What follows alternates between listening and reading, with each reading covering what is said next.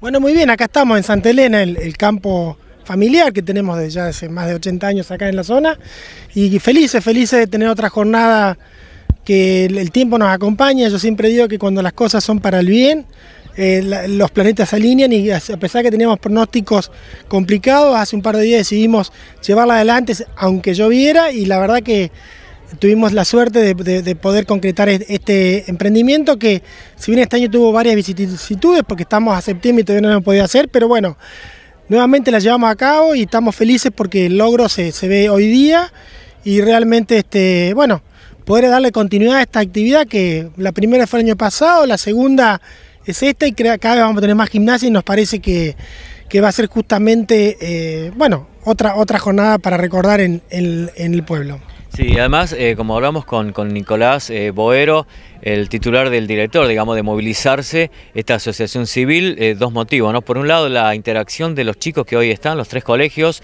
por otro lado, la parte solidaria que se hace a nivel nacional y también a nivel local. Exactamente, y fíjate vos, Roque, hoy escuchaba que lo comentabas vos, que este año vamos a repartir los dividendos que salgan en Cáritas y Asociación Civil. Pero un tema no menor es que decidimos que justamente porque ser estas instituciones del pueblo y, para,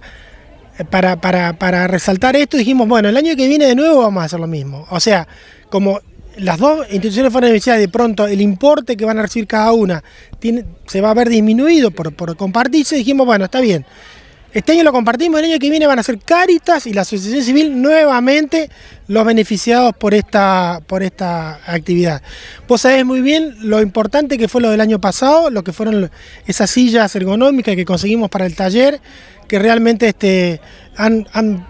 sido una, una, solución a algunas, le han facilitado el trabajo y la verdad que cada vez que dejemos nuestro granito de arena y que ese granito de arena sea dado por los chicos del colegio, me parece que es un ejemplo que los jóvenes están dando a la sociedad y que de pronto tenemos que empezar a replicarlo en todos los, ámbitos de nuestra sociedad justamente. Gracias Juan. ¿eh? Muchas gracias a ustedes por estar y bueno, por acompañarnos como siempre y, darnos difusión a este tipo de temas. Un tema no menor, eh, Roque, que quería comentarte, que es probable que hagamos un taller después, eh, digamos, a salón para, resaltar un poco este tema de los valores con los chicos y también reforzar los conceptos de la chocleada. Así que, que eh, hoy vamos a, cosechar eh, más de una hectárea, vamos con los chicos, veremos lo que podemos cosechar, pero la idea es justamente aportar para luego hacer un taller eh, local de valores.